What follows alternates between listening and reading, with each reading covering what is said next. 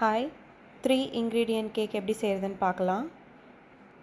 ஒரு packet bourbon biscuit ஒரு packet hide and seek biscuit இன்றைக்கி நம்ம எடுத்துருக்கோம்.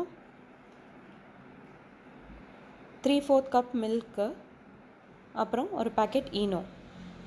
இவ்வளோ தான் நம்மளோட தேவையான பொருட்கள். இப்போது நம்ம இந்த பிஸ்கெட்ஸை மிக்சியில் போட்டு நல்லா பவுட்ரு பண்ண போகிறோம்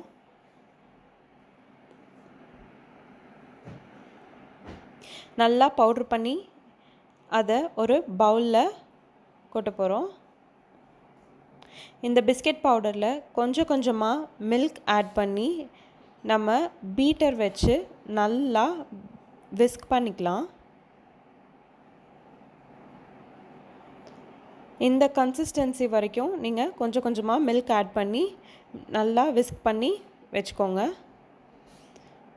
இப்போ நம்மளோட ஈனோ பாக்கெட்டை பிரித்து கொட்டிடலாம் அதில். நல்லா மிக்ஸ் பண்ணிக்கோங்க. நம்மளோட கேக் பேனை கொஞ்சமாக பட்டரில் க்ரீஸ் பண்ணி ஒரு ட்ரை ஃப்ளாரில் டஸ்ட் பண்ணி வச்சுருக்கேன். இப்போ நம்ம ஓவனை ப்ரீ ஹீட் பண்ணிக்கலாம். ஒன் எயிட்டி டிகிரி டெம்பரேச்சரில் ப்ரீ ஹீட் பண்ணி வச்சுக்கோங்க.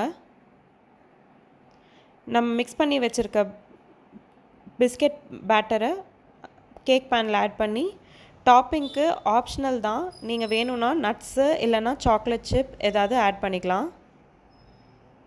இப்போ நம்ம கேக் பேனை ஓவன்குள்ளார வச்சு பேக் பண்ண போகிறோம். ஒரு ஃபிஃப்டீன் மினிட்ஸ் பேக் பண்ணால் போதும். ஃபிஃப்டீன் மினிட்ஸ்க்கு அப்புறம் எடுத்து ஒரு க்ளீன் நைஃபை சென்டரில் அப்படியே டிப் பண்ணி வெளியே எடுத்து பாருங்கள் நைஃப் க்ளீனாக வந்துருச்சுன்னா கேக்கு ஃபுல்லாக பேக் ஆகிடுச்சுன்னு அர்த்தம்.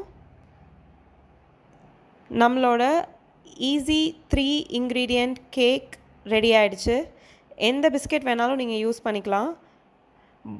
Bourbon and hide and seek வந்து ரொம்ப சாக்லேட்டியாக இருக்கனால இன்னும் எக்ஸ்ட்ரா ஃப்ளேவராக இருக்கும்.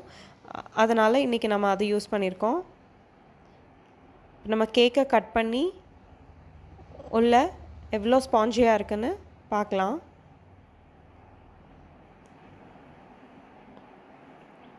பாருங்கள் நம்மளோட கேக் ரொம்ப ஸ்பாஞ்சியாக